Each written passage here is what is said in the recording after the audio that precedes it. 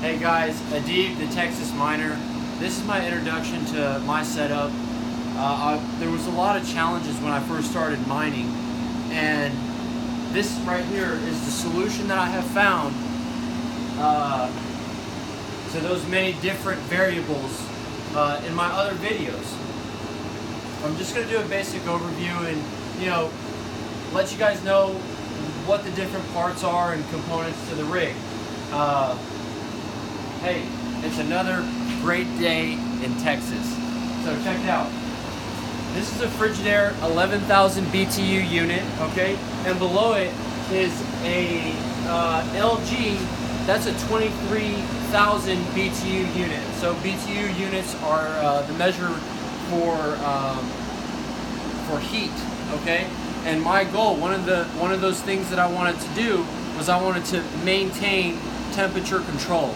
And and one of those things that is required is enough BTUs. Now I could have gone and uh, done a uh, the traditional home AC unit, but remember, I wanted to do it for my house, and I didn't really feel like busting out my uh, mother's concrete on the side wall because resale value and other variable things.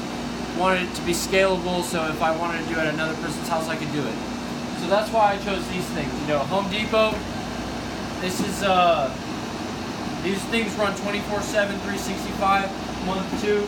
Not a. Um, right now, you can see that I got this heater on it because when it drops to 30 degrees down in the Texas plains, uh, that that uh, condenser coil freezes because it gets too cold. All right, how much, how much can we get sorry, these for? evaporator. How much can we get these Uh, for? 300, 500. Okay. Now, now here's the really important part. You know, you think, hey, just let me slap this to the side of the box, okay, and call it a day, right? No. What you gotta do is, these are called, hey, and hey, if I say it wrong, don't, don't light me up about it, okay? But I think they're called Pentium boxes, Plenium boxes. I'm not sure, Peni, Plentium boxes. And these goal, the goal of these boxes are to direct the hot air coming through, send it through the evaporator cooler, cool the air, and send it back on the, these pipes go up and, and it sends it to the bottom of the casing that I'm about to show you guys, okay? Um, and so one, two, they're bigger, one, one's, one's bigger than the other, whatever. Uh, in, a, in a later video, I'll, I'll, I'll talk to you guys about the rules uh, and the physics behind um, you know, how many holes need to be drawn and the surface area rules that are involved so that you don't restrict any airflow and your your uh, your HVAC unit performs at optimum levels. Uh, insulated piping, okay? Uh, in the summer, these things will sweat really, will really sweat. So insulated piping, Home Depot, no problem, all day, every day. Um, come over here. So what I did over here is uh, some electrical work. Um, we'll get into that later. And then each one is protected with a power surge.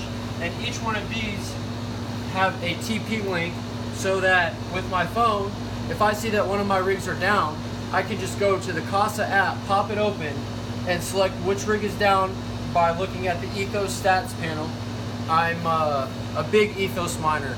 I think that their system is great. I have no bias towards one or the other.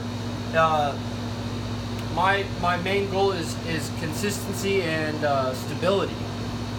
And these guys run a very stable program. I very rarely have any problems with their software. I actually no, I haven't had one. Um, so, eh, hey, come check this out. This is the coolest part. This is why there's all this piping and stuff. What does that say right there? 63 degrees. All right, I maintain temperature control. You guys want to see what's under the hood? This is where the magic happens. Look, I got one, two, three, four, and then a second layer to make eight. I have uh, 48 GPUs in this box, okay? This material right here that you see, I'm, hey, I'm a uh, in my other life I'm a commercial roofer, and uh, Onyx Construction, DFW Roofing. I work with a man named Jeff Rogers. We are the best in the business. Jeff Rogers worked for one of the largest roofing companies in America, and me and him are business partners. I've never seen anybody get a roof done better than he does. I'm learning from him. So uh, if you guys need a roof, hit me up. What's your phone number? Uh, no, no, no. We don't need no, none of that shit. Um, so, uh, oh, this this this material right here. It's two and a half inch ISO board. Okay. This has an R value of um, I want to say six, but don't quote me on it. I'll I'll I'll, I'll make the correct statement in the video. And you know, uh, a, a do for next time type of thing that I want to do because hey, you got to remember that when I start, first started um, in the uh, with with the challenge of cooling these rigs, it was uh, July in Texas. Okay, Texas heat, July. Man, it was hot. Okay, so and I'm and I'm thankful for that because when it was really hot here in August, this garage will heat up to about you know it's 100 degrees outside. It's about 110 without proper ventilation. So I have this summer to uh, pop a vent up. No big deal. I'll need about 2,500 CFMs to crank it out of here. No big deal. But it, but even without that fan, it's just a nice necessity so I can come out here and not sweat so much. Uh, it's it's a uh, without the fan, it was able to hold a temperature. These rigs, with these guys on, was able to hold a, a temperature of about 70 to 75 degrees. And keep in mind, it was about mm, 110 degrees uh, outside. So 75, 110, that's a pretty good insulation. But if we could do better, that's what we want. Because what if it's 110 degrees out and we can get these guys running at 60 degrees?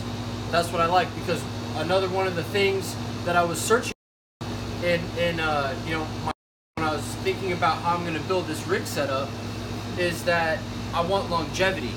Okay, it can't it can't be 110 degrees outside, and my my my ethostat panel temperatures are all red and amber red. We can't. That's not efficient. Okay, they need to be all green. And hey, if you're good, you'll get them to the blues. Your numbers will read blue on the ethostat panel. So uh, I ran out of each rig. Also, what I did was I ran. Uh, uh, USB extension and an HDMI extension cord so that when I'm rebooting,